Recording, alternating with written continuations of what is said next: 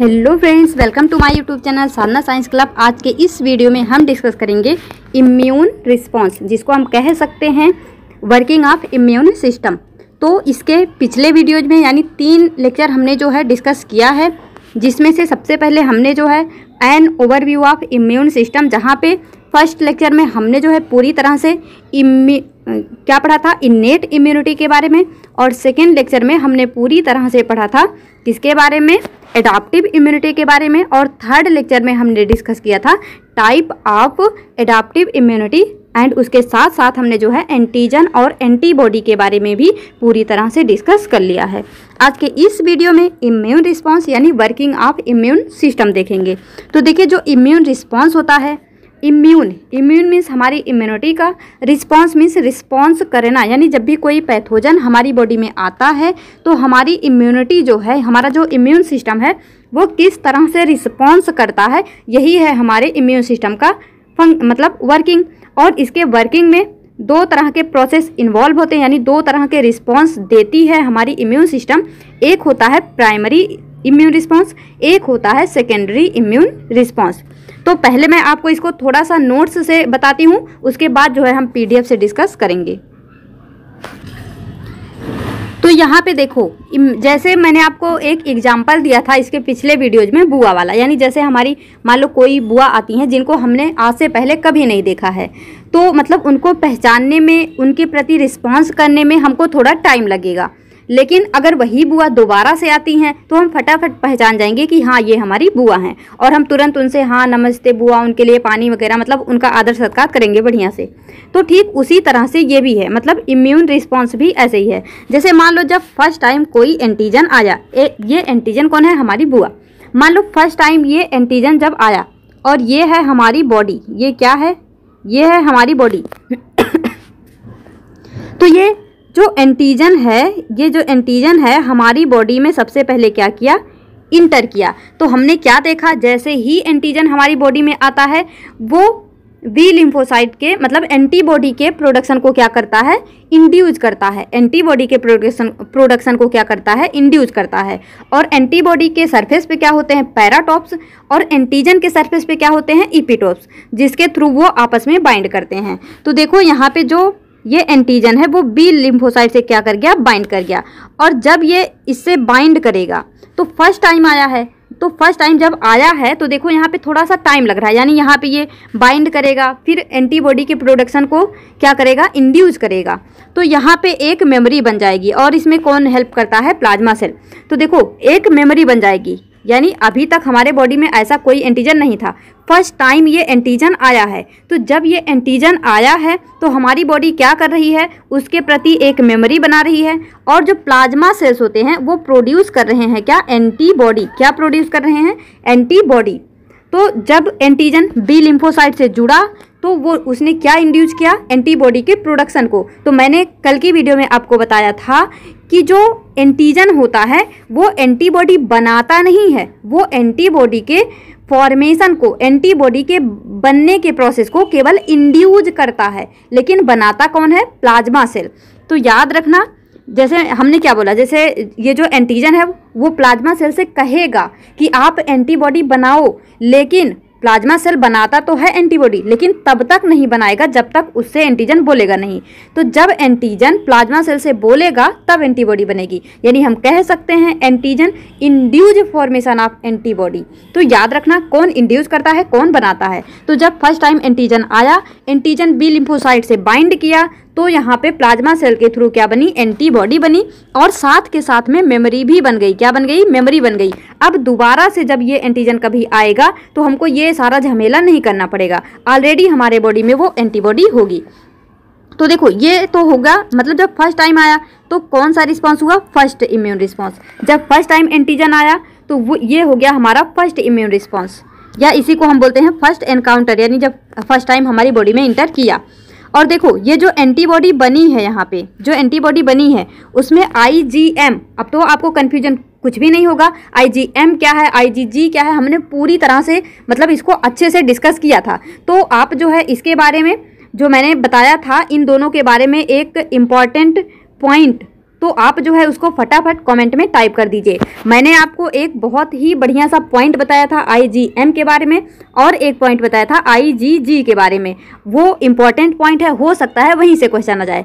तो मैंने जो है कल के वीडियो में डिस्कस किया था। अगर आपको याद है तो आप उसको टाइप करिए।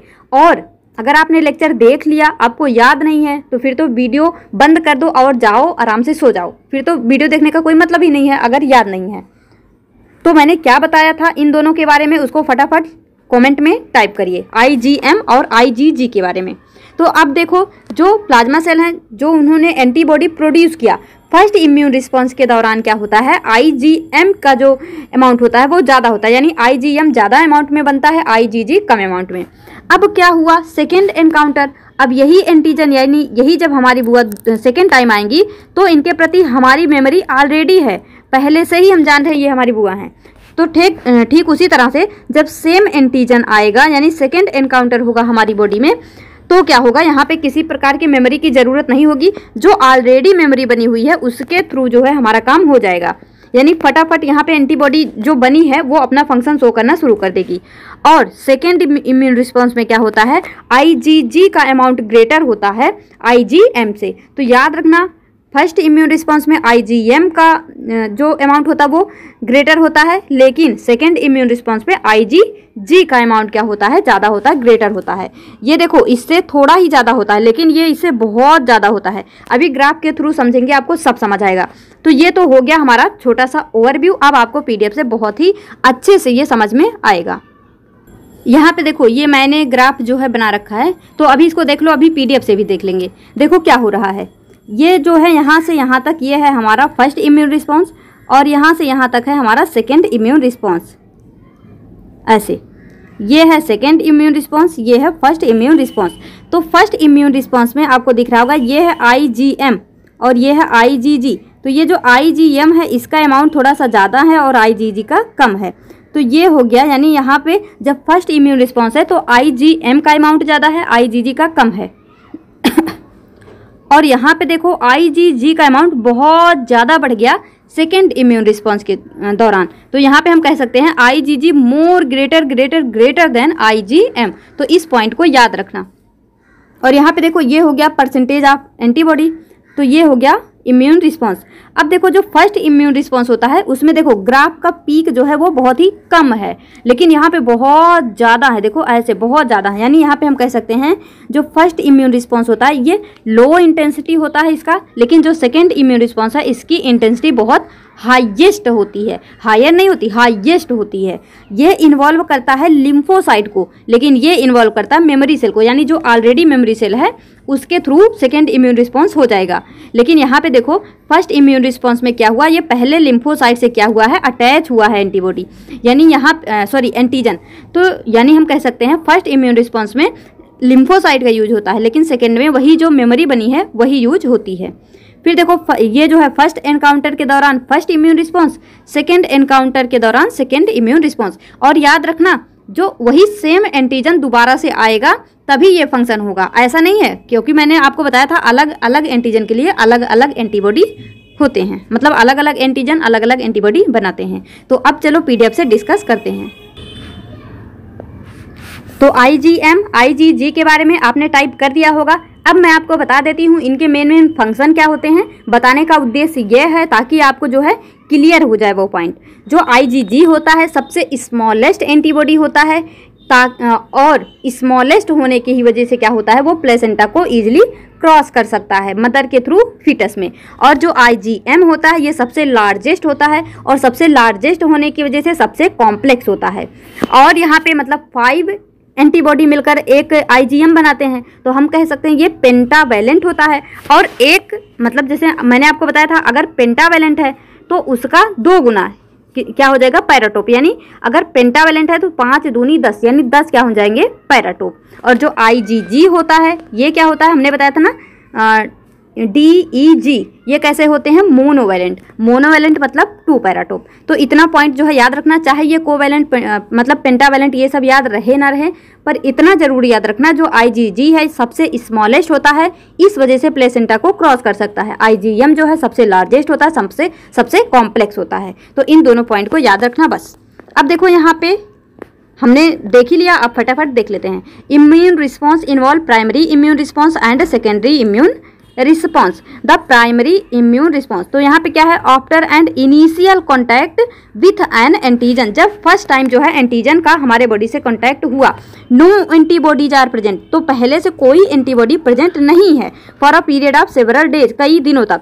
Then a slow rise in antibody जब वो मतलब क्या कर रहा है? जब वो बी लिम्फोसाइट से जुड़ेगा फिर जो है धीरे धीरे क्या करेगा? प्लाज्मा सेल के थ्रू एंटीबॉडी बनेगी। यानी स्लो राइज इन एंटीबॉडी। धीरे धीरे एंटीबॉडी बनना स्टार्ट होगा। First IgM and then IgG followed by gradual decline in antibody titre तो यही जो मैंने आपको बताया आईजीएम का अमाउंट यहाँ पे क्या होगा? ज़्यादा होगा आईजीजी का कम होगा। This is called the primary immune response और इसको हम क्या बोलते हैं? प्राइमरी इम्यून रिस्पॉन्स तो ये ग्राफ है हमारा, लेकिन पहले देख लेते हैं सेकेंडरी इम्यून रिस्पॉन्स को, फिर हम देखेंगे ग्राफ अब देखो सेकेंडरी इम्यून रिस्पॉन्स में क्या है? मेमोरी मेमोरी सेल में remain in the body for decades जो memory cell first immune response के दौरान बन चुके हैं वो क्या करते हैं? हमारी बॉडी में रहते हैं डिकेट्स मतलब स, आ, कई वर्षों तक रहते हैं। एवरी न्यू इनकाउंटर यानी जो भी नया इनकाउंटर होगा विद द सेम एंटीजन याद रखना ये वर्ड सेम एंटीजन क्या है? Same antigen result in a rapid proliferation of memory cells ये जो है मेमोरी सेल के उससे क्या करते हैं मतलब फटाफट ये रिस्पॉन्स वो करते हैं। This is also called booster response और इस वजह से इसको क्या बोलते हैं? Booster response the antibody titre after subsequent encounter is far greater than during the primary response ये सब छोड़ो। Consist mainly of IgG antibody यही है यहाँ पे जो मैंने आपको बताया सेकेंड इम्यून रिस्पॉन्स में क्या होता? है आईजीजी एंटीबॉडी का अमाउंट बहुत ज़्यादा ग्रेटर हो जाता। वही है। Subsequent encounter is far greater than during the primary response primary response की अपेक्षा यहाँ पे बहुत ज़्यादा इसकी इंटेंसिटी इंटेंसिटी बढ़ जाती है। More intense response is called the secondary immune response और ये जो जो मतलब बहुत ज़्यादा इंटेंस रिस्पॉन्स है, इसको हम बोलते हैं secondary immune response antibodies produce during a secondary response have an ever higher affinity for antigen क्या बोला जा रहा है? जो एंटीबॉडी प्रोड्यूस होता है during a secondary response have an ever higher affinity for antigen मतलब ये एंटीजन से बहुत ही जल्दी से क्या करेंगे? उसके प्रति रिस्पॉन्स शो करेंगे। अब यहाँ पे देखो a person who had been suffering from disease like measles smallpox chickenpox become immune to subsequent attack of these diseases जो पर्सन जिनमें measles smallpox chicken pox ये सारी चीज़ें होते हैं, ये इन सब डिज़ीज़ के इम्यून हो जाते हैं। मतलब इनकी इम्यूनिटी जो है बूस्ट हो जाती है। अब देखो इट इंक्लूड इसमें क्या क्या इंक्लूड होता है? Spleen lymph node tonsils Peyer patches of small intestine and appendix तो ये सारी चीज़ें इसमें इंक्लूड होती हैं। और यहाँ पे देखो क्या है? Increase par and duration of secondary immune response explain why immunization method of providing immunity artificially जिसको हम बोल रहे हैं vaccination is usually accomplished by injecting antigen in multiple doses यानी जो सेकेंडरी इम्यून रिस्पॉन्स है इसी पे हमारा वर्क करता है वैक्सीनेशन जैसे जब हम वैक्सीन देते हैं बाहर से हमारी बॉडी को, इस वजह से देते हैं। जैसे मान लो हमको अभी स्मॉल पॉक्स कभी नहीं हुआ है या फिर हमको पोलियो कभी नहीं हुआ है तो देखो क्या होता, बच्चों को मतलब जब वो पाँच साल के हो जाते हैं, तभी उनको मतलब पोलियो को पोलियो का दो बूथ देते हैं ना, वो इस वजह से देते हैं ताकि उनको फ्यूचर में कभी पोलियो हो ही ना। अगर जैसे मान लो वो पोलियो वायरस आया बॉडी के अंदर तो पहले से ही उसकी मेमोरी होगी। हमारी एंटीबॉडी उसके खिलाफ लड़के उसको भगा देगी बॉडी से, उसको मार देगी, उसको ख़त्म कर देगी। तो ये जो वैक्सीनेशन है, वो इसी प्रिंसिपल पे काम करता है। यानी पहले से ही हमारे बॉडी में उसकी मेमोरी बना दी जाती है कि हाँ अगर ये आए, जैसे मान ले, मान लो आपने अपनी बुआ को कभी नहीं देखा और आपकी बुआ बहुत खतरनाक है। चलो छोड़ो, बुआ का एग्ज़ाम्पल नहीं लेते हैं। मान लो कोई एक चोर है, क्या है? कोई चोर है या डाकू है। आपने उसको कभी नहीं देखा। लेकिन आप उसका मतलब इमेज आपको दिखा दिया गया। दिखा दिया गया कि देखो, अगर इस तरह का को कोई डाकू या चोर आपको दिखाई देता है तो उससे बच के रहना है। उसको मारना है, उसको भगा देना है अपने घर से। तो ठीक उसी तरह से मतलब ये जो वैक्सीनेशन है, वो पहले से ही हमारी बॉडी को दिया जाता है कि मतलब अगर ये एंटीजन या मतलब फॉरेन मटेरियल फॉरेन पार्टिकल हमारे बॉडी में आएगा तो इसको क्या करना है? बॉडी से भगा देना है। तो वैक्सीन भी हम पढ़ेंगे। अब देखो, यहाँ पे ये ग्राफ भी देख लेते हैं। ग्राफ में क्या है? यही जो हमने आपको बताया अभी, ये है हमारा प्राइमरी इम्यून रिस्पॉन्स ये पूरा क्या है? प्राइमरी इम्यून रिस्पॉन्स और ये है सेकेंडरी इम्यून रिस्पॉन्स तो देखो प्राइमरी इम्यून रिस्पॉन्स में ये जो पीक कम है और एक पीक ज़्यादा है। जो ज़्यादा है, वो है हमारा आईजीएम का पीक और जो कम है वो है आई का। और यहाँ पे जो ज़्यादा है वो आई का और जो कम है वो है आई का। तो यहाँ पे देखो आई का बहुत ज़्यादा इंटेंसिव मतलब पीक है यहाँ पे। तो इसको आप याद रखेंगे। अब यहाँ पे हम डिस्कस करेंगे सेल्स ऑफ़ इम्यून सिस्टम हमारे इम्यून सिस्टम में कौन कौन से सेल इन्वॉल्व होते हैं? इसमें से बहुत सारे सेल के बारे में हम ऑलरेडी डिस्कस कर चुके हैं। तो अब आपको ये सेल समझना जो है बहुत ही ईजी हो जाएगा। बस एक बार देखना है मतलब कुछ अगर नए कुछ एक्स्ट्रा पॉइंट हमको मिलते हैं तो उसको हम जो है यहाँ पे देख लेंगे। तो देखो lymphocyte phagocytic cell, granulocyte and dendritic cell. तो ये कुछ सेल्स होते हैं हमारे इम्यून सिस्टम में। क्या क्या होते हैं? लिम्फोसाइट फेगोसाइटिक सेल जिसमें हम मोनोसाइट और माइक्रोफेजेस पढ़ते हैं। फिर यहाँ पे ग्रेन्यूलोसाइट और डेंडाइटिक सेल तो ये कुछ सेल होते हैं जो, जिनको हम बोल रहे हैं सेल्स ऑफ़ इम्यून सिस्टम अब देखो W B Cs are the principal cell of immune system क्यों? क्योंकि जो डब्ल्यू बी सी होता है, वो हमारे बॉडी के मतलब प्रोटेक्शन मैकेनिज्म में हेल्प करता है। यानी क्या करता है? हमारी बॉडी को किसी भी रोग वगैरह से लड़ने में मदद करता है। तो हम कह सकते हैं W B Cs are the principal cell of immune system formed haemopoietic stem cell by the process of haemopoiesis हमने आपको बताया था जो बोन मैरो का स्टेम सेल होता है, उसी से सारे सेल क्या होते हैं? बनते हैं फॉर्म होते हैं। तो ठीक वही है। और इस प्रोसेस को क्या बोलते हैं? हिमाटोपोएसिस क्या बोलते हैं? हिमाटोपोएसिस तो यही है यहाँ पे। तो डब्ल्यूबीसी क्या है? हमारे डिफेंस मैकेनिज्म में हेल्प कर रहा है। इस वजह से इसके सेल्स जो होते हैं, वो सबसे ज़्यादा इंपॉर्टेंट होते हैं हमारे इम्यून सिस्टम के लिए। और ये किस प्रोसेस के थ्रू बनते हैं? हिमाटोपोएसिस के थ्रू अब देखो haematopoiesis occurs in yolk sac during first week of gestation gestation क्या होता है? यानी जब मद, जो फीमेल्स होती हैं, जब प्रेग्नेंट होती हैं, जो फ़र्स्ट वीक ऑफ़ जेस्टेशन होता है, प्रसव काल। तो उस उसमें जो है हिमेटोपोसिस कहाँ पे होता है? यौक सैक में। कहाँ पे? यौक सैक में। और after third month of gestation यानी जब थ्री मंथ हो जाते हैं प्रेगनेंसी के तो यहाँ पे क्या होता है? Haematopoiesis occur in liver and spleen of foetus तो ये पॉइंट न्यू है। क्या है? ये पॉइंट हमारे लिए नया है। इसको जो है आप मार्क करके रखेंगे। इंपॉर्टेंट पॉइंट है। तो हमने यहाँ पे क्या देखा?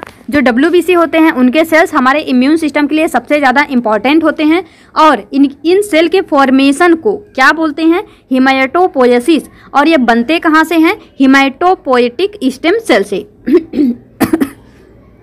सॉरी और स्टेम सेल पाए कहाँ पे जाते हैं? बोन मैरो में। अब देखो हिमाटोपोयसिस का जो प्रोसेस है, यानी जो डब्ल्यूबीसी के सेल्स हैं, वो योग साइक में, यानी फ़र्स्ट वीक ऑफ़ जेस्टेशन में कहाँ बनते हैं? योक साइक में, लेकिन after third month of gestation कहाँ पे बनते हैं? स्प्लीन एंड लीवर में। तो याद रखना, after third month of gestation haematopoiesis occur in liver and spleen of foetus.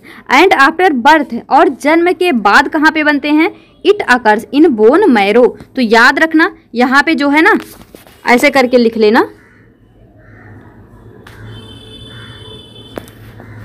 यहाँ पे ऐसे करके आप लिख लेना, याद करना, करने में आसानी होगी। कैसे?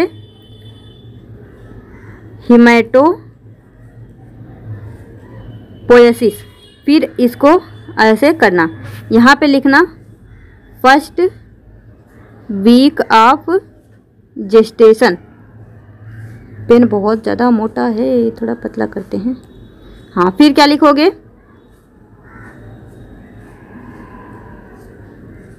After third month of gestation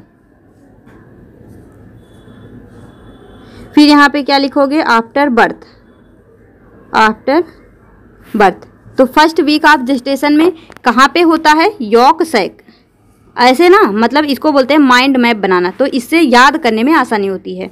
और after third month of gestation कहाँ पे होता है? लीवर एंड स्प्लेन में। लीवर एंड स्प्लेन में। फिर आफ्टर बर्थ कहाँ पे होता है? बोन मैरो में। बोन मैरो में। तो इस तरह से जो है आप इसको ऐसे करके लिख लेना, आपको ये जो है याद हो जाएगा। क्या है? हिमेटोपोसिस जो है, वो first week of gestation yolk sac में होता है after third month of gestation liver and spleen में होता है आफ्टर बर्थ जो है बोन मैरो में होता है। तो इस तरह से आप इसको नोट कर सकते हैं। अब देखो cells of immune system are सबसे पहले यहाँ पे हम क्या देख रहे हैं? लिम्फोसाइट। क्या देख रहे हैं? लिम्फोसाइट। तो देखो, जो लिम्फोसाइट है, उसके अंतर्गत क्या क्या चीज़ें आती हैं? T lymphocyte and B lymphocyte and natural killer cell lymphocyte में क्या क्या आती हैं? T lymphocyte B lymphocyte natural killer cell तो हमने जो है लिम्फोसाइट का टाइप देखा था तो वहाँ पे ये सारी चीज़ें डिस्कस कर ही चुके हैं। अब आपको कोई भी कन्फ्यूज़न इनमें नहीं होगा। फिर देखो, जो फेगोसाइटिक सेल हैं, इसमें क्या क्या आता है? फेगोसाइटिक में आते हैं, मोनोसाइट्स एंड माइक्रोफेजेज ग्रेन्यूलोसाइट में क्या क्या आते हैं? मैंने बोला था, जहाँ पे ग्रेन्यूल फिल होते हैं, ये है ग्रेन मतलब ये है सेल, और यहाँ पे कुछ चीज़ें फिल हैं। क्या फिल हैं? ग्रेन्यूल। तो जो फिल फिल, ये हमने देखा था ना, फिल। जो फिल वाले होते हैं, उनको हम बोलते हैं ग्रेन्यूलोसाइट, क्योंकि यहाँ पे क्या फिल है? ग्रेन्यूल। तो यहाँ पे क्या हो जाएगा? न्यूट्रोफिल बेसोफिल योसिनोफिल तो ये फिल फिल वाले जो है, वो हो गए हमारे ग्रेनुलोसाइट और इसके साथ साथ यहाँ पे क्या प्रेजेंट होता है? डेंड्राइटिक सेल तो ये हो गए हमारे सेल अब इनके बारे में डिटेल से देख लेते हैं। देखो लिम्फोसाइट पढ़ तो चुके ही हैं, बस थोड़ा सा और देख लो। Lymphocytes lymphocytes are small round cell found in peripheral blood lymph lymph node and lymphoid organ and in tissue तो इन सारी जगहों पर लिम्फोसाइट प्रेजेंट होते हैं। Lymphocyte percent are 20 to 45 percent of total cell in peripheral blood and 99 percent of total cells in lymph and lymph node ये जो है पेरीफेरल ब्लड में 20 टू 45 परसेंट होते हैं, लेकिन लिम्फ या लिम्फ नोड में 99 परसेंट होते हैं। तो याद रखना लिम्फ या लिम्फ नोड में लिम्फोसाइट का अमाउंट क्या होता है? ज़्यादा होता है, यानी इनका परसेंटेज ज़्यादा होता है। अकॉर्डिंग टू साइज़ ये साइज़ होगा साइड नहीं साइज़ होगा।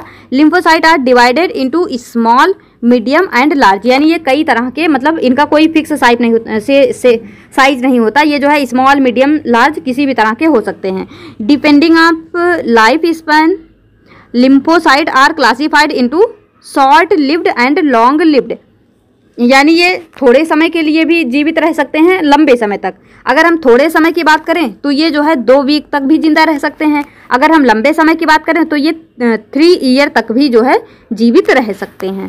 Broadly lymphocyte are divided into three sub population T lymphocyte B lymphocyte and natural killer cell तो ये हो गया इसका टाइप अब देखो phagocytic cell phago phago means क्या होता है? ईटर साइटिक मीन्स सेल यानी सेल ईटर जो सेल को खाने वाले सेल होते हैं, वो क्या हो गए? Phagocytic cell monocyte and microphages are mononuclear phagocytic cell यानी ये सिंगल न्यूक्लियस के बने होते हैं. Granulocyte monocyte progenitor cell differentiate into promonocyte and neutrophils अब देखो promonocytes leaves the bone marrow and enter blood stream where the differentiate and mature monocyte ये जो प्रोमोनोसाइट है, मैंने आपको बताया था, जैसे देखो प्री कर्सर होता है ना? प्री कर्सर का मतलब कल मैंने आपको बताया था तो हम ये कह सकते हैं जो मोनोसाइट है, उसके लिए प्री कर्सर का काम कौन करता है? प्रो मोनोसाइट यानी यही प्रो प्रो मोनोसाइट जो है, जब बोन मैरो से निकल के हमारे ब्लड स्टीम में इंटर करेगा तो वो डिफ्रेंशिएट करके क्या बनाता है? मेच्योर मोनोसाइट यानी प्रो मोनोसाइट से ही क्या बनता है? मेच्योर मोनोसाइट तो इसको आप याद रखेंगे। अब देखो monocyte circulate in blood for eight hours ये हमारी ब्लड में जो है एट घंटे तक लगातार सर्कुलेट होता रहता है ड्यूरिंग विच दे इनलार्ज मतलब इस दौरान वो बड़ बड़े हो जाते हैं इनलार्ज हो जाते हैं and then enter tissue and differentiate into specific microphage and dendritic cell यानी मैंने आपको बताया भी है पहले भी कि यही मोनोसाइट क्या करते हैं। जब ये मतलब किसी फॉरेन मटेरियल से जुड़ जाते हैं तो इनके, इनका साइज़ बड़ा हो जाता है और यही कन्वर्ट हो जाते हैं माइक्रोफेजेज में। और ये माइक्रोफेजेज के साथ साथ डेंड्राइटिक सेल में भी कन्वर्ट होते हैं, इसको भी याद रख लेना। अब देखो मोनोसाइट क्या होते हैं? Blood monocyte measures 12 to 15 micrometre with a single lobed kidney shape nucleus जो मोनोसाइट होते हैं, यहाँ पे single lobed kidney shape nucleus जो है, वो प्रेजेंट होता है। It occurs two to eight percent हमने जो है, आपको बताया था never let monkey eat banana तो वहाँ से आपको ये परसेंटेज अब याद होना चाहिए। अब देखो इम्यूनोलॉजिकल फ़ंक्शन क्या होता है मोनोसाइट का? Help in antigen processing and presentation release cytokines specialised function in tissue and cytotoxicity तो ये सब इनके फ़ंक्शन होते हैं। फिर देखो माइक्रोफेजेज क्या है? Monocyte migrate to tissue and differentiate into macrophages फिर से वही लाइन रिपीट हो गया कि मतलब वही मोनोसाइट ही क्या बनाते हैं? Macrophages differentiation of monocyte into macrophages involve following changes मतलब यहाँ पे क्या क्या चेंजेज होते हैं जब मोनोसाइट माइक्रोफेज में कन्वर्ट होता है। जब मोनोसाइट माइक्रोफेज में कन्वर्ट होता है क्या क्या होता है? सेल इनलार्ज हो जाता है फाइव टू टेन फोल्ड हो, हो जाते हैं। इंट्रासेलुलर ग्रेन्यूल जो है वो इंक्रीज हो जाता हो जाता है उनका नंबर और कॉम्प्लेक्सिटी इंक्रीज फेगोसाइटिक एबिलिटी जैसे मोनोसाइट जो है वो कम चीज़ें इंगल कर पाएँगे, लेकिन जो माइक्रोफेज है, वो ज़्यादा चीज़ें खा पाएगा, यानी increase phagocytic ability produce higher level of hydrolytic enzyme and cytokine यानी जो मोनोसाइट है, वो कम अमाउंट में हाइड्रोलाइक एंजाइम वगैरह बनाएगा, लेकिन ये ज़्यादा अमाउंट में बनाएगा, जो माइक्रोफेज है. अब देखो माइक्रोफेज सर्व डिफरेंट फ़ंक्शन इसके क्या क्या फ़ंक्शन होते हैं? एल्बियोलर माइक्रोफेज लंग्स में होते हैं. हिस्टो हिस्टियोसाइट कहाँ पे होते हैं? कनेक्टिव टिश्यू में कोफर सेल लीवर में, मैसेंजियल सेल, किडनी में, माइक्रोग्लियल सेल, ब्रेन में ऑस्टियोक्लास बोन में। तो देखो, इनके नाम से ही स्पष्ट है, हिस्टियो मीन्स क्या होता है? ऊतक, यानी टिश्यू। तो याद रख लेना, हिस्टियो, यानी टिश्यू से रिलेटेड है। एल्बियोलर टर्म हमेशा लंग के लिए यूज़ होता है। तो एल्बियोलर माइक्रोफेज कहाँ पे होंगे? लंग में होंगे। कफर सेल कहाँ पे पाया जाता है? लिवर में पाया जाता है। मैसेंजियल सेल किडनी में होता है। माइक्रोग्लियल सेल ब्रेन में होता है। ऑस्टियो मीन्स होता ही है बोन। तो ऑस्टियो क्लास मीन्स क्या हो गया यहाँ पे बोन? तो इनके नाम से ही स्पष्ट है कहाँ पे कौन सा माइक्रोफेज पाया जाएगा, क्या फ़ंक्शन करेगा। अब अगर बात करें इसके इम्यूनोलॉजिकल फ़ंक्शन की तो सबसे पहले फेगोसाइट साइटोसिस होगा ही होगा।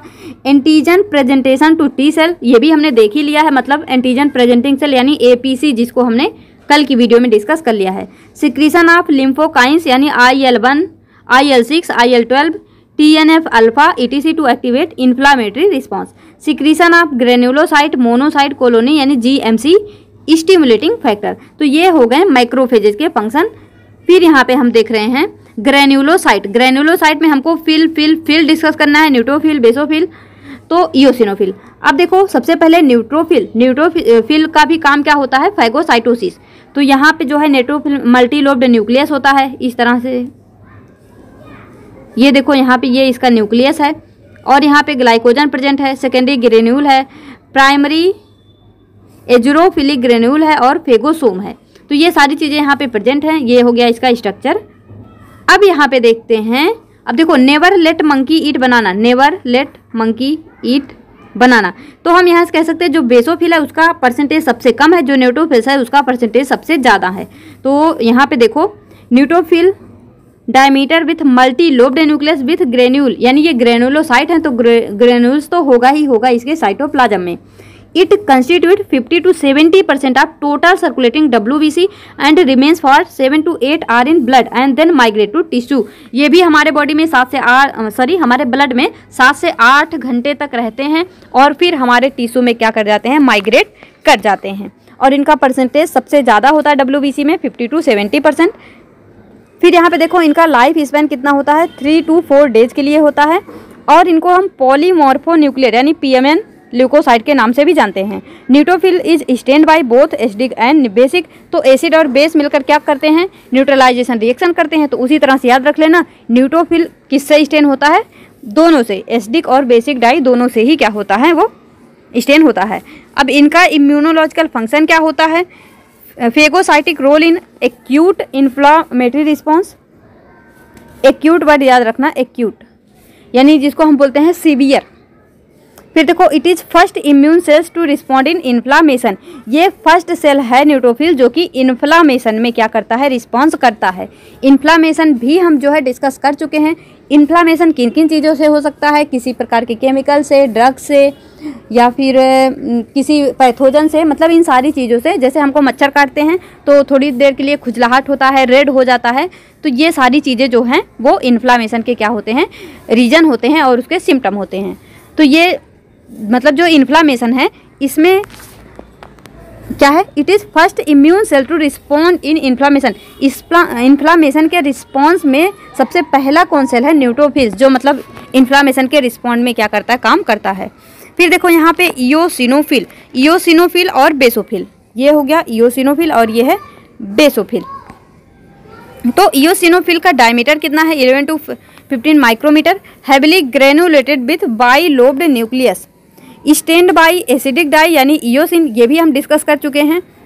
और इनका भी काम क्या होता है? They are phagocytic and motile अगर हम बात करें इम्यूनोलॉजिकल फ़ंक्शन ऑफ़ ईओसिनोफिल की granules contain various hydrolytic enzyme hydrolytic enzyme होते हैं यहाँ पे। दैट किल्स पैरासाइट जो कि पैरासाइट को मारने का काम करते हैं। Too large to be phagocytic by neutrophils और ये बहुत ज़्यादा बड़े होते हैं। प्रोवाइड एलर्जिक इन्फ्लामेशन ये जो ईओसिनोफिल होते हैं, ये एलर्जिक इन्फ्लामेशन प्रोवाइड करते हैं। अगर बात करें बेसोफिल की basophil are non phagocytic cell जो बेसोफिल होते हैं, वो नॉन फेगोसाइटिक होते हैं, यानी ये किसी तरह से मतलब सेल वगैरह को नहीं खाते हैं found in small number in blood and tissue हमने देखा था कितना होता है zero zero to one point five percent फिर यहाँ पे क्या है? Cytoplasm contain large number of prominent basophil granule containing histamine heparin serotonin and other hydrolyte enzyme ये सारी चीज़ें यहाँ पे होती हैं। और नाम से ही स्पष्ट है बेसोफिल तो बेसिक डाई से इनको स्टेन किया जाता है। स्टेन का मतलब मैंने आपको पहले ही बता दिया स्टेन मतलब किसी चीज़ पे आपने कलर डाला और वो और वो दिखने लगा। डाई भी क्या होते हैं? कलरफुल लिक्विड होते हैं तो उनको जब मान लो एस्टिक डाई बेसिक डाई इस तरह से कई सारे डाई होते हैं तो उनको जब किसी चीज़ पे डाला जाता है तो वो जो स्ट्रक्चर है वो क्लियर दिखने लगता है। तो मतलब वो साइंटिस्ट लोगों ने देखा होगा, फिर उन्होंने ये मतलब निष्कर्ष निकाला होगा किसको किस डाई से स्टेन करने पर वो क्लियर दिखता है। तो वही यहाँ पे लिखा है, जो बेसोफिल है वो बेसिक डाई से स्टेन होता है, यानी बेसिक डाई डालेंगे तभी वो दिखेगा अदरवाइज़ नहीं दिखेगा। फिर देखो इम्यूनोलॉजिकल फ़ंक्शन क्या होता है? Provide anaphylactic and atopic allergy reaction फिर यहाँ पे आता है हमारा डेंड्राइटिक सेल अब ये देखो डेंड्राइटिक सेल आपको दिख ही रहा होगा कैसे लंबे लंबे से ये दिख रहे हैं। ये क्या है? डेंड्राइटिक सेल कैसे हैं? ब्रांच्ड हैं, खूब मतलब यहाँ पे लॉन्ग साइटोप्लाज्मिक क्या है? एक्सटेंशन तो देखो डेंड्राइटिक सेल है long cytoplasmic extension that resembles to dendrite of nerve cell जैसे नर्व सेल का डेंडाइट होता है, ठीक उसी तरह से ये डेंडाइटिक सेल भी क्या होते हैं? दिखते हैं। They are highly pleomorphic with small central body यहाँ पे ये जो आपको ब्लू कलर दिख रहा है, यही है इसका small central body and many long needle like process और यहाँ पे ये नीडल लाइक प्रोसेस ये सब आपको दिख रहे होंगे, ये needle like dendritic cell are antigen presenting cell. ये भी जो है एंटीजन को टी लिम्फोसाइट के सामने प्रेजेंट करते हैं। They pro they possess M H C major histolytic complex. अब यहाँ पे देखो इम्यूनोलॉजिकल सॉरी, इम्यूनोलॉजिकल फ़ंक्शन क्या होता है इनका? Involve in antigen presentation to T cell. अभी हमने देखा, during primary immune response very little role in phagocytosis यानी इनका भी रोल फेगोसाइटोसिस में बहुत कम होता है। तो याद रखना नॉन फेगोसाइटिक सेल में हमने क्या देखा? अभी बेसोफिल को देखा। और very little role in phagocytosis में क्या आता है? डेंडाइटिक सेल अब यहाँ पे ये तो हो गया हमारा सेल्स ऑफ़ इम्यून सिस्टम ये सारे सेल के बारे में आपने देखा होगा, मैंने बहुत जल्दी जल्दी मतलब केवल ऐसे ही बहुत ज़्यादा स्ट्रेस नहीं दिया किसी पॉइंट पे, क्योंकि ऑलरेडी हम जो है सारी चीज़ें कर चुके हैं। बस एक मतलब वो लगाना था कि ठीक है, हमने सब कुछ डिस्कस कर लिया है। आपको एक वो मिल जाएगा आइडिया कि हमने सब कुछ पढ़ लिया है। अब यहाँ पर बात करते हैं प्राइमरी लिम्फॉयड ऑर्गन यानी यहाँ पे हम बात करेंगे ऑर्गन ऑफ़ इम्यून सिस्टम की। जहाँ पे दो तरह के ऑर्गन होंगे। एक होंगे हमारे प्राइमरी लिम्फॉयड ऑर्गन एक होते हैं secondary lymphoid organ immature lymphocytes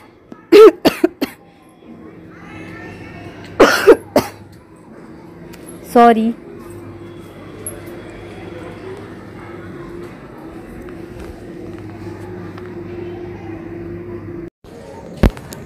तो देखो, सबसे पहले बात करें अगर हम यहाँ पे प्राइमरी लिम्फॉइड ऑर्गन और सेकेंडरी लिम्फॉइड ऑर्गन की। तो देखो, जो यहाँ पे हमने क्या डिस्कस कर लिया? सेल ऑफ़ इम्यून सिस्टम तो जो सेल होता है सेल से ही मिलकर क्या बनते हैं? टिश्यू क्या बनते हैं?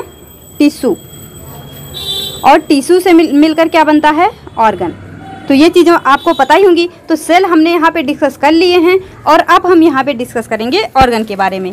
तो जो प्राइमरी लिम्फॉइड ऑर्गन है और सेकेंडरी लिम्फॉइड ऑर्गन है, सबसे पहला चांस है क्वेश्चन पूछने का कि पूछ लेंगे। बताइए कौन सा स्ट्रक्चर प्राइमरी लिम्फॉइड ऑर्गन में इंक्लूड है या फिर कौन सा सेकेंडरी लिम्फॉइड ऑर्गन में मेंशन है।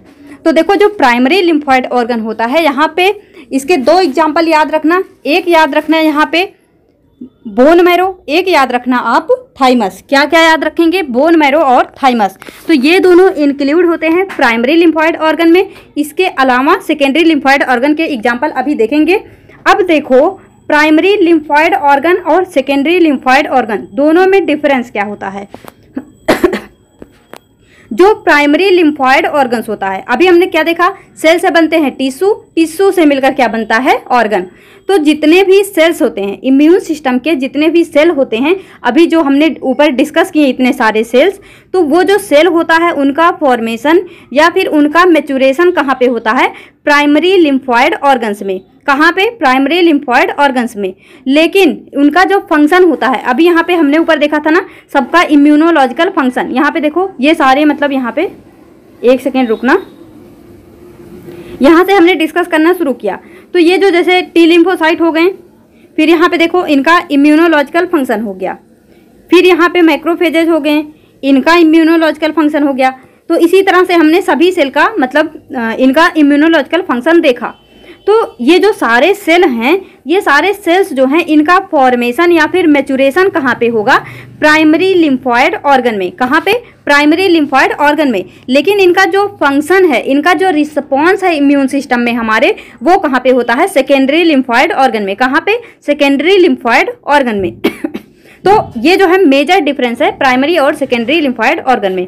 तो देखो immature lymphocyte generated in haematopoiesis the process of formation and development of blood cell mature and become committed to a particular antigenic specificity within the primer primary lymphoid organ तो इसी को बहुत ही complex language में यहाँ पे दिया हुआ है। आप सिंपल सा याद रखना, जितने भी सेल्स होते हैं, वो प्राइमरी लिम्फाइड ऑर्गन में uh, क्या करते हैं? बनते हैं या फिर मेच्योर होते हैं। और प्राइमरी लिम्फाइड ऑर्गन में मेनली क्या क्या आते हैं? थाइमस और बोन मैरो आता है। और याद रखना, ये एक और याद रखना, बुरशा ऑफ़ फैब्रिसियस ये किसमें होता है? बर्ड में, लेकिन बोन मैरो किसमें होता है? मैमल्स में। तो जैसे बोन मैरो होता है मैमल्स में, ठीक उसी तरह से बर्ड के केस में बोन मैरो ना होकर क्या होता है? वर्षा ऑफ़ फैब्रिसियस अब देखो lymphocyte become immunocompetent that means capable of mounting and spons response only after it mature within the primary lymphoid organ यानी ये जो लिम्फोसाइट होते हैं, चाहे वो बी लिम्फोसाइट हो, चाहे टी लिम्फोसाइट हो, ये जो है जब प्राइमरी लिम्फॉइड ऑर्गन में बन के मेच्योर हो जाते हैं, तब ये कैपेबल होते हैं इम्यून रिस्पॉन्स शो करने के लिए। तो मैंने जो आपको सिंपल लैंग्वेज लैंग्वेज में बताया, वही यहाँ पे मतलब एक भयानक इंग्लिश लिख के जो है बताया गया है। वैसे तो देखो पीडीएफ से पढ़ना बहुत इजी टास्क नहीं होता। आप लोगों को बहुत बहुत धन्यवाद कि मतलब इतना सपोर्ट करते हैं। मैं जो है, अभी देखो, अभी एग्ज़ाम का तो वैसे तो अभी डेट तो आया नहीं है, लेकिन हम ये मान के पढ़े हैं कि जो हमारा एग्ज़ाम होगा, वो सितंबर में होगा। क्योंकि मोस्टली जो एग्ज़ाम हुए हैं अभी तक, उस बेस पे मैं बोल रही हूँ एग्ज़ाम जो है वो सितंबर तक हो सकता है। तो हमको जो है सितंबर से पहले इन सबको जो है फिनिश करना है। इस वजह से अगर मैं इसको लिखूँगी, फिर जो है पढ़ेंगे तो थोड़ा सा ज़्यादा टाइम लगेगा। इस वजह से हम डायरेक्ट पीडीएफ से पढ़ रहे हैं और आप लोग सपोर्ट करते हैं उसके लिए बहुत बहुत थैंक्स फिर आगे देखो क्या है यहाँ पे। मुझे जब टाइम मिलेगा कभी दोबारा से डी ट्रिपल एस बी होगा तो इसको हम बहुत बढ़िया से नोट्स के थ्रू मतलब माइंड मैप के थ्रू पढ़ेंगे। उससे क्या होता है ना, याद रखने में ईजी होता है। अब देखो जो थाइमस होता है thymus is greyish flat bilobed lymphoid organ situated above the earth sorry heart ये पता नहीं क्या हो रहा स्लिप ऑफ़ टंग। कहाँ पे होता है? हमारा जो हाइट होता है, उसके ऊपर। कहाँ पे होता है? उसके ऊपर। And the extending into a neck on the front and side of trachea एक बार रुको, मैं देखती हूँ, अगर एक कंबाइंड फिगर मिल जाए तो इसको हम देख लेते हैं, ताकि जो है और इजी हो जाए पढ़ पाना इसको। तो जो भी फिगर होते हैं, उन पे कॉपीराइट का ऑप्शन होता है। देखो, मैं आपको ना टेलीग्राम पे उसका इमेज भेज दूँगी तो वहाँ से जो है मार्क करके भेजूँगी तो उसको देख लेना किसका क्या सिचुएशन मतलब क्या उसका सिचुएशन होता है, कहाँ पे वो होते हैं। तो जो थाइमस होता है, वो हार्ट के ऊपर होता है। Extending into the neck on the front and side of trachea trachea हम जो है रेस्पिरेटरी सिस्टम में पढ़ेंगे तो आपको पता चलेगा।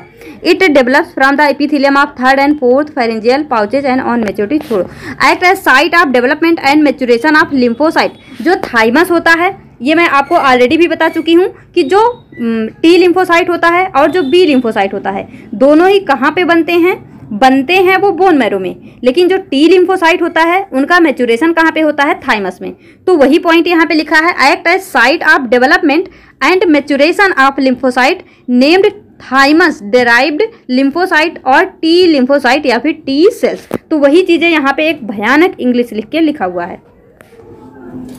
Thymus reaches peak activity in childhood and attains its largest size at puberty देखो, जो ये थाइमस होता है, जैसे आप देखेंगे कि जो मतलब हमारे दादा या बाबा लोग होते हैं, उनकी इम्यूनिटी थोड़ी कमज़ोर हो जाती है। मतलब वो जल्दी जल्दी बीमार होते हैं या फिर मतलब थोड़े कमज़ोर हो जाते हैं। क्यों होते हैं? क्योंकि जो थाइमस होता है वो डी जेनरेट होने लगता है। क्या होने लगता है? डी जेनरेट होने लगता है। जो थाइमस होता है, ये जो है इम्यूनिटी प्रोवाइड करती है। और याद रखना थाइमस जो है चाइल्डहुड में सबसे ज़्यादा पीक एक्टिविटी पे होता है। यानी सबसे ज़्यादा साइज़ इसका बड़ा होता है। तो थोड़ा सा अपोजिट है। मतलब हम देखते हैं कि एज बढ़ने एज बढ़ता कब है? एज तो घटता है। यानी एज घटने के साथ साथ में चीज़ें बड़ी होती हैं। लेकिन यहाँ पे क्या है? छोटी होती जाती जो थाइमस होता है चाइल्डहुड में बड़ा होता है इसका साइज़ लेकिन फिर जैसे जैसे बुढ़े होते जाते हैं तो यहाँ पे क्या होता है? ये डी जेनरेट होने लगता है। तो देखो thymus begins to atrophy without any apparent effect on T lymphocyte function and extremely small in old age मतलब वृद्धावस्था में ये बहुत ही छोटा हो जाता है।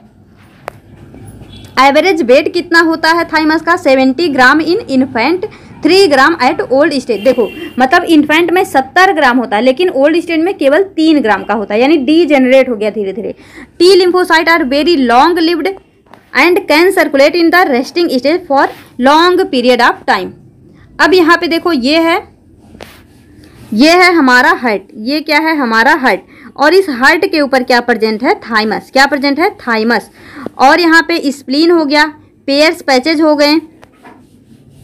ये हो गया, देखो बोन मैरो यहाँ पे प्रेजेंट है। ये हो गया हमारा बोन मैरो और ये हो गया लिम्फ नोड तो ये सब किसमें आते हैं? हमारे लिम्फॉइड ऑर्गन में। तो अभी हमने जो है थाइमस के बारे में डिस्कस किया। अब आगे देखते हैं। जो थाइमस होते हैं, जैसे यहाँ पे आपको दिख रहे होंगे, ये जो थाइमस हैं Each lobe of thymus is surrounded by capsule divided into a series of lobules which are separated from each other by a strand of connective tissue जिसको हम बोलते हैं ट्रेबिकुली। जैसे मान लो ये है हमारा, क्या है? लोब है थाइमस का।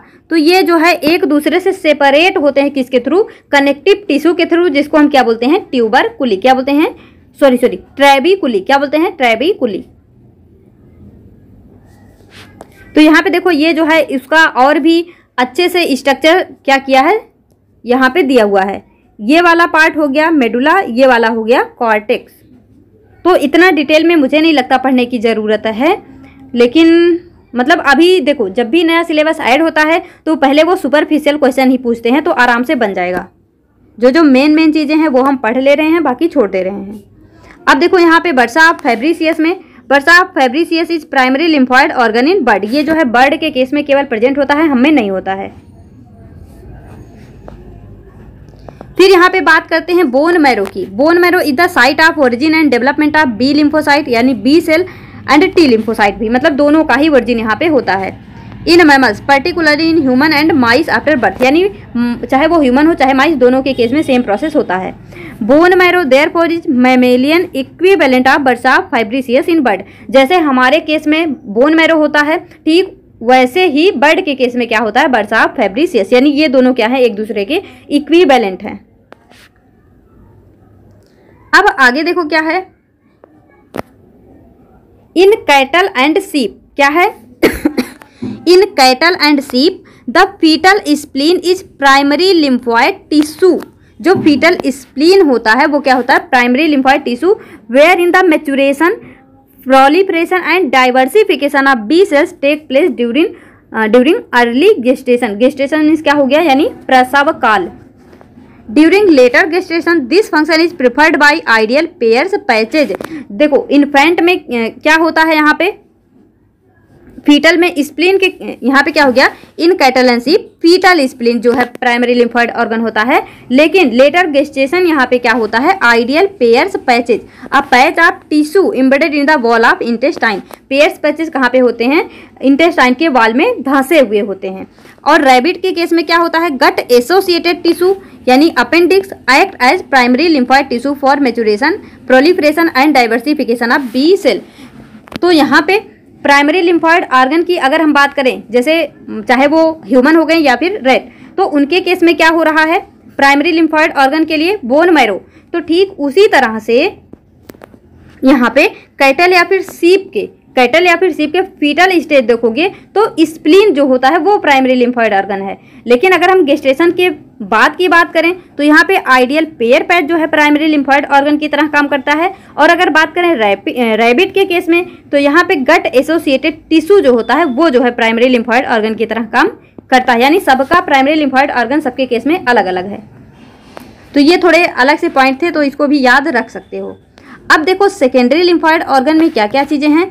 These lymphocyte migrate there there from via circulation to secondary और peripheral lymphoid organ here they here they bind appropriate antigen and undergo further antigen dependent differentiation जो मैंने आपको बताया कि देखो, सबसे पहले जो सेल्स हैं, उनका फॉर्मेशन या फिर मेचुरेशन कहाँ पे होगा? प्राइमरी लिम्फॉइड ऑर्गन में। अब जो है, जब वो जाते हैं मतलब हमारे ब्लड के थ्रू हमारी बॉडी में जब वो एंटीजन से बाइंड करते हैं, फिर वो मतलब एंटीबॉडी को प्रोड्यूस करते हैं तो ये सारी चीज़ें जो हैं वो सेकेंडरी लिम्फॉइड ऑर्गन में हो रही मतलब वो एंटीबॉडी किस तरह से फ़ंक्शन कर रही है, अब उनका मतलब एंटीजन एंटीबॉडी का क्या रिस्पॉन्स हो रहा है, ये सारी चीज़ें जो है सेकेंडरी लिम्फॉइड ऑर्गन में आती हैं। मतलब यहाँ पे फ़ंक्शन देख रहे हैं, लेकिन प्राइमरी लिम्फॉइड ऑर्गन में उनका फॉर्मेशन या फिर मैचुरेशन देखते हैं। अब देखो सेकेंडरी लिम्फॉइड ऑर्गन में सबसे पहले आता है लिम्फ नोड क्या आता है? लिम्फ नोड लिम्फ नोड इसके बारे में अभी हम देखेंगे। यहाँ पे इसका स्ट्रक्चर देखो, सबसे पहले क्या है? जो लिम्फ नोड होता है, वहाँ पे तीन पार्ट होते हैं। तो देखो, जो लिम्फ नोड होता है, यहाँ पे तीन रीजन होते हैं। क्या क्या होता है? मेडुला होता है पैरा कॉर्टेक्स होता है और कॉर्टेक्स होता है। तो अब यहाँ पे देखो, ये जो इसका मिडिल पार्ट है, ये ये क्या है? मेडुला मिडिल पार्ट क्या है? मेडुला और मेडुला के सराउंडिंग में यहाँ पे क्या है? पैरा कॉर्टेक्स क्या है? पैरा कॉर्टेक्स और ये है कॉर्टेक्स रीजन और देखो, इसी कॉर्टेक्स रीजन में क्या प्रेजेंट है? बी लिम्फोसाइट क्या प्रेजेंट है? बी लिम्फोसाइट और यहाँ पे जर्मिनल सेंटर भी प्रेजेंट है. और इसके आउटर रीजन पे क्या है? अफरेंट लिम्फेटिक वेसल्स या फिर इफरेंट लिम्फेटिक वेसल्स तो ये सब छोड़ो, बस इतना याद रखो, जो लिम्फ नोड होते हैं, यहाँ पे मेजर तीन रीजन होते हैं मेडुला पैराकॉटिक्स कॉर्टेक्स जो कॉर्टेक्स होता है, उसी रीजन में क्या प्रेजेंट होता है? बी लिम्फोसाइट क्या होता है? बी लिम्फोसाइट इसके साथ साथ यहाँ पे जर्मिनल सेंटर सेंटर भी प्रेजेंट होता है। तो अब आप देखोगे ना, इसी के बारे में पूरा मतलब घुमा फिरा के लिखा हुआ है। सबसे पहले लिम्फ नोड क्या होता है? Small encapsulated bean shape structure होते हैं clustered as junction of lymphatic vessels which are distributed throughout the body यानी पूरे बॉडी में प्रेजेंट होते हैं। Lymph node contain reticular network packed with lymphocyte macrophages dendritic cell filter out pathogenic microorganism and antigen from lymph यानी ये इसको भगाने का काम करते हैं। फिर यहाँ पे देखो as a lymphocyte percolate through a lymph node any pathogen या antibody that is brought in with with lymph is trapped by phagocytotic cell and dendritic cell यानी बी लिम्फोसाइट के साथ में यहाँ पे फेगोसाइटोटिक फेगोसाइटिक या फिर डेंड्राइटिक सेल होते हैं, जो कि क्या करते हैं, जो भी एंटीजन या पैथोजन आता है, उसको ट्रैप कर लेते हैं, पकड़ लेते हैं, जकड़ लेते हैं। अब यहाँ पे देखो, इसके मेजर थ्री रीजन होते हैं cortex paracortex medulla cortex is outermost region contain several rounded aggregates of lymphocyte यानी मोस्टली बी लिम्फोसाइट माइक्रोफेजेज भी होते हैं फॉलिकुलर डेंटाइटिक सेल भी होते हैं। Arrange in primary follicle each follicle each follicle has a plate staining germinal centre surrounded by small dark staining lymphocyte तो ये सारी चीज़ें जो है सिंपल सी है मतलब कुछ ऐसा खास है नहीं। फिर यहाँ पे देखो deeper region lying beneath the cortex मतलब कॉर्टेक्स के नीचे क्या है? Para cortex zone between cortex and medulla दोनों के बीच में है। Para cortex possess large number of T lymphocyte जैसे कॉर्टेक्स में बी लिम्फोसाइट है, ठीक पैरा कॉर्टेक्स में टी लिम्फोसाइट है। Contain inter digitating dendritic cell through through sorry दो टू है migrated from tissue to lymph node जिसके थ्रू वो मतलब लिम्फ नोड में क्या करते हैं? माइग्रेट करते हैं। Because of presence of large number of T lymphocyte in it paracortex is also referred at thymus dependent area in contrast to cortex which are thymus independent area ये सब छोड़ो इतना भयंकर इंग्लिश आपसे नहीं पूछेंगे। सिंपल सा क्वेश्चन तो पूछता है डी त्रिपल एच भी। फिर भी हमने उसके लेवल से बहुत ज़्यादा ऊपर जो है पढ़ा है सब कुछ। तो टेंशन मत लेना, कुछ भी, जो भी क्वेश्चन होंगे आराम से बन जाएँगे। ईच लिम्फ नोड है number of lymph vessel called afferent ये सब छोड़ो छोड़ो छोड़ो छोड़ो, सब कुछ छोड़ो। बस इसके रीजन याद रखना और जो वो स्टार्टिंग में क्या था, वो सब याद रख लेना थोड़ा सा। बीन सेप ये सब। अब देखो जो स्प्लीन होता है तो सबसे पहले मैं आपको बताती हूँ, जैसे ये होता है हमारा किडनी क्या होता है? ये होता है हमारा किडनी तो ठीक इसी तरह से होता है हमारा स्प्लिन भी। स्प्लिन भी होता है, लेकिन इस पर जो है इस तरह से कुछ स्ट्रक्चर होते हैं ग्लैंडर स्ट्रक्चर तो ये जो है थोड़ा सा स्प्लिन किडनी से डिफरेंट हो जाता है किस वजह से, क्योंकि यहाँ पे ग्लैंडर स्ट्रक्चर इस तरह से प्रेजेंट होते हैं। तो बस ये इतना सा डिफरेंस होता है स्प्लिन और किडनी में। अब देखो spleen which is five inches too long two hundred gram in weight in adult largest secondary और पेरीफेरल लिम्फॉइड ऑर्गन और यहाँ भी ट्रेबिकुली प्रेजेंट होते हैं। फिर यहाँ पे देखो, ये सब छोड़ो, कुछ भी, सारा छोड़ो। अगर आपका मन हो एक रीडिंग लगा लेना अदरवाइज़ यहाँ पे कुछ भी ऐसा इंपॉर्टेंट है नहीं। ये इसका स्ट्रक्चर हो गया मतलब सब कुछ। फिर यहाँ पे आता है लास्ट हमारा म्यूकोसल एसोसिएटेड लिम्फॉइड टिश्यू यानी माल्ट क्या आता है? माल्ट माल्ट में क्या है? Mucus membrane lining the alimentary respiratory क्या है? Jenny genitourinary system have a very large combined surface area मतलब इन सारी जगहों पे माल्ट जो है प्रेजेंट होता है। सबसे पहले तो इसका जो है आपसे फुल फॉर्म ही पूछा जा सकता है म्यूकोसल एसोसिएटेड लिम्फाइड टिश्यू याद रख लेना। अब इसके बाद याद रखना कि इसके अंतर्गत आती क्या क्या चीज़ें हैं। एक और point group of organise lymphoid tissue is also collectively known as mucosal associated lymphoid tissue यानी MALT